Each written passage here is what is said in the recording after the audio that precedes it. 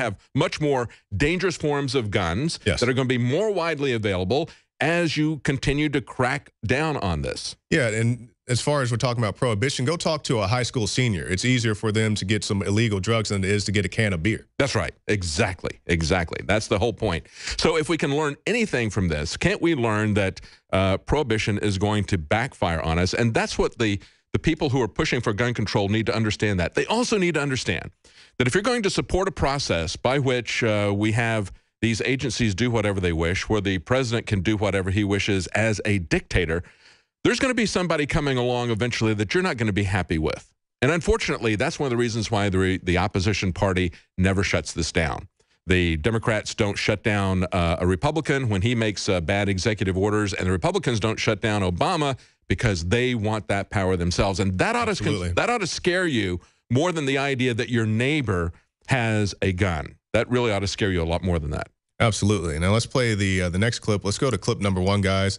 And this is Obama saying anyone in the business of selling firearms must get a license and perform a background check. Now this troubles me, David, because just as uh, Kit was saying today when he was talking to Alex, that means if I sold you a firearm, you know, am I a licensed dealer? No, but I have the right as a United States citizen to sell you a firearm without any type of background check or having a license.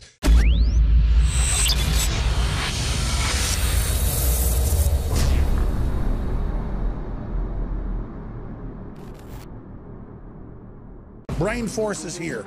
Ladies and gentlemen, I've been on this the last few months. You probably noticed I've been more crazed, more focused, less brain fog, more energy, more special reports, and it's because of Brain Force.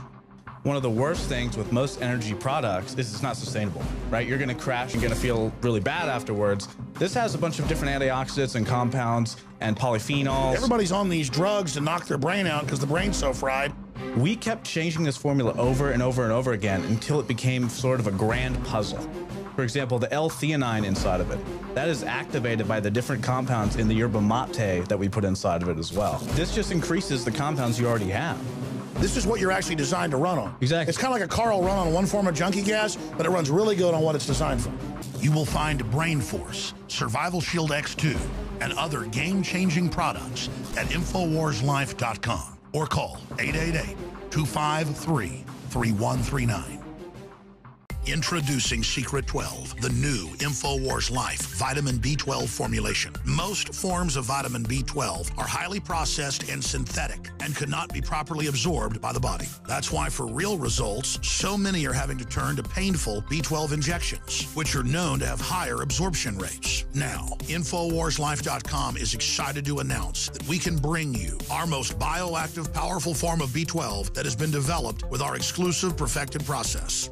Secret 12 is a binary of nutramedical grade, bioavailable coenzyme forms of B12, methylcobalamin, the same kind used in B12 injections, and adenosylcobalamin. Secret 12 is simply taken by mouth, right on the tongue, and then swallowed. No needles, no injections. Don't take my word for it. Try it for yourself. Discover the secret. Secret 12. Secure your revolutionary Secret 12 formula right now at InfoWarsLife.com or call 888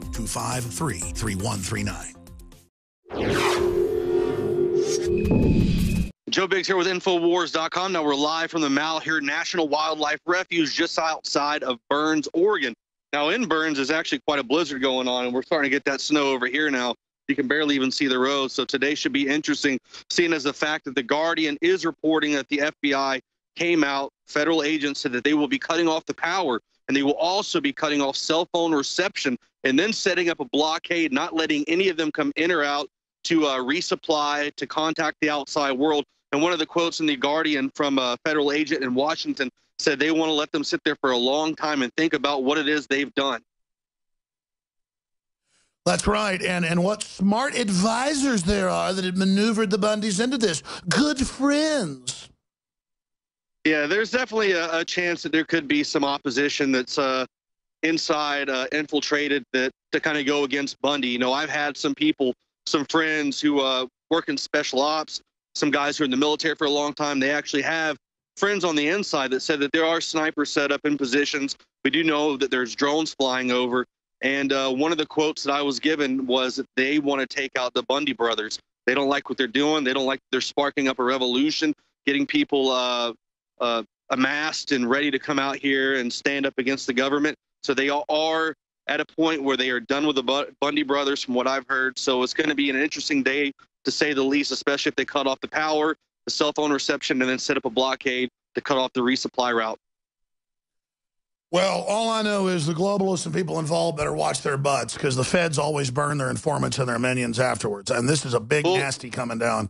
One of the one of the worst things that could happen though is if they actually were to, to try to do something, all that's going to do is make uh, the Bundys a martyr, and then you're going to see a large group of people across this country stand up, rise up, and you're going to see a lot more of these standoffs happen. Which so is exactly here's my issue. Tell me if you agree or disagree. The Bundys are great people. I get their point. The feds are out of control. It's wrong. It's Agenda yep. 21. The locals don't want them. The Hammonds don't want it. And that's why this dog doesn't hunt. This isn't their land, their grazing rights. It doesn't have the same optics. And this is perfect timing for Obama. Why have the Bundys been out there for months off and on, and now all this breaks loose right when Obama rolls out his offensive against the Patriots? I mean, come on, people. This, this is really smells. Yeah, it's definitely interesting how this is all played out, and it will be interesting to see how this unfolds over the next 24 hours, especially when they're expecting more snow to uh, fall, temperatures to drop, to see how this uh, happens. Now, today we went out and investigated uh, reports that there were uh, FBI uh, federal agents amassing at schools across the Burns area. We weren't able to find any, but I have been noticing a lot of the militiamen with binoculars starting to look out across the land to different areas. So maybe they've seen some movement out here in these hills. Maybe the FBI left early this morning and already have uh, certain spots set up and they got their eyes on this area for when they do shut the power to see how the militia and the Bundys react. Well, this was just a giant extravaganza for the establishment with the wrong optics. I mean, I couldn't pick a worse place for this to be going down in a worse time. But uh, that said, it's a free country. Folks can do what they want, can't they? Uh, and uh, I'm just going to continue to try to warn folks that we have an executive branch power grab outside of law to register guns, not let you transfer guns, to let psychologists take guns whenever they want, to, uh, to take Social Security recipients' guns. I mean, this is in Politico. They're now and, and to now say if you criticize the government, your guns can be taken. I mean, uh, this is worse than I thought. Joe. Well, the interesting, got... thing, the interesting thing is what happened in Waco with the Davidians when the FBI did roll in and they shut off the power. Is this going to happen again? Are they going to have another assault like that here at the refuge? And by the way, the RNC head has denounced Obama gun control executive actions as dangerous power grabs. So finally, that narrative just in the last few hours is getting out there. That's bigger than the seven gun grabs they're announcing and the three big ones. Is that the president can't shut our power plants off because he felt like it when he was on his prayer rug in the morning. Uh, the president can't just take our guns because he found it in the toilet, you know, and decided it was a royal scroll or something. Uh, the president is not God. And, uh, you know, him and all his degenerate supporters think they're about to have some great war. And, I mean, my God, the, the George Soros people saying these are white terrorists and y'all Qaeda and all this. I mean, they are really just spoiling. I mean, absolutely spoiling for a war last night I had an opportunity to actually go down here to where the uh, the federal facilities are. There's about seven or eight buildings down there.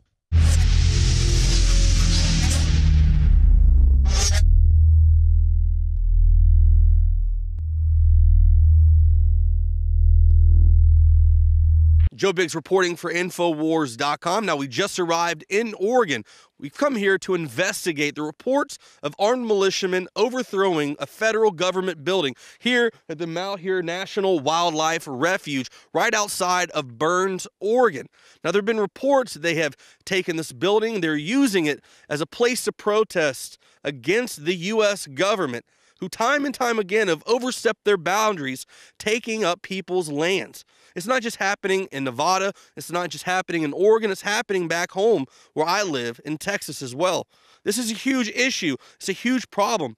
So, this is why we decided to come out here. We want to find out if it's really as bad at this federal building as they're making it out to be, or is our government using this as another way to push gun control? As you can see, we're down here in the actual compound area, the uh, federal building where the uh, militia have taken over and they're stand against the tyrannical government. As you can see, they're not destroying anything. They're actually taking care of the land and preparing it and making sure it looks good. They're not out here uh, destroying property. They're not out here messing with vehicles. As you can see, there's a lot of uh, government vehicles that are sitting here.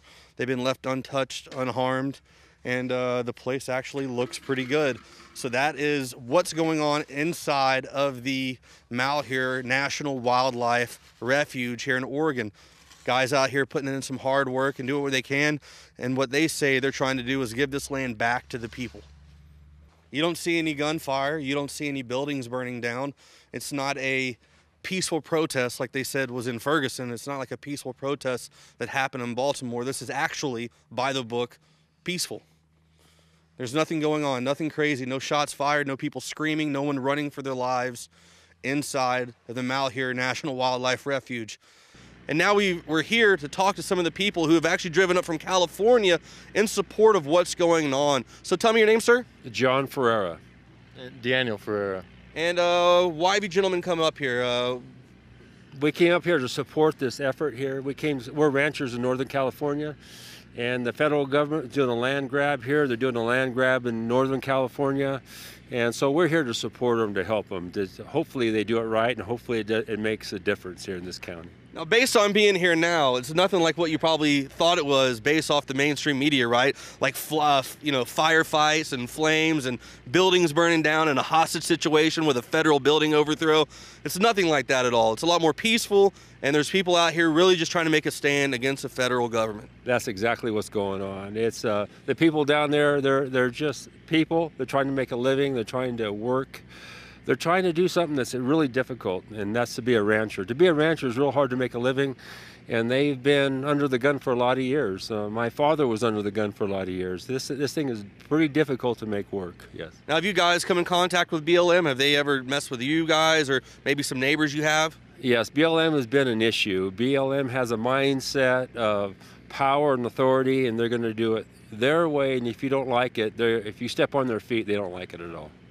So do you uh, fully support what they've done here? Do you, do you do you think that coming out here, grabbing this building, making a stand is a good idea? Do you think it could have been done a different way, in your opinion? Uh, well, I think that taking the building is a great thing. Making a stand is a great thing. I think it's going to take really good leadership. I think that that's what's going to have to take place. Somebody's going to have to stand up, make the calls. The feds have taken land little bit by little bit. Uh, they want to do. They want to take this land back, which which they should. That's this is what they should do. But they need to have a plan. Stick to that plan. They need to have the fortitude. They need to have the clout behind them. If people don't rally behind them and have good leadership, this won't happen. The, the trouble is that the federal government has gone so far. People are going to get hurt, and I hate to say that. I'm a pastor, been a Christian for a lot of years. People, Christians need to stand up, not be passive and say enough's enough. Our rights are being taken. Or I should say, we're giving our rights up more than our rights are being taken. All right. Well, what do you have? Do you have anything to add about uh, the situation unfolding? Uh, do you want to get? Do you want to see more people coming out here in support of this? Oh yeah, more people would be great. Uh, one thing is they're not terrorists. We're not terrorists. We're Americans, and we want to we want to fix this country.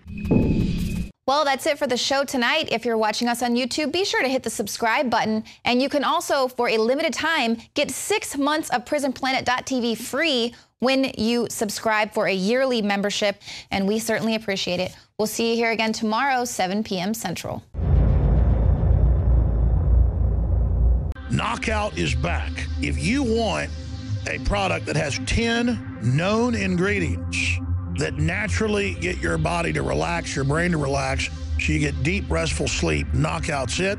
Infowarslife.com. L-theanine, hops flower extract, lemon balm extract, valerian root extract, chamomile flower extract, L-tryptophan extract, melatonin, and more. All organic, all the natural sources. It's the same price as leading brands of melatonin that are three milligrams a piece. It has three milligram, the standard recommended dose for an adult. It's got the GABA. So it would probably cost $50 to take all this as separate pills. It's $19.95. You take one or two of these, and it just is really clean, restful sleep is what the reviews are. It's what I've experienced.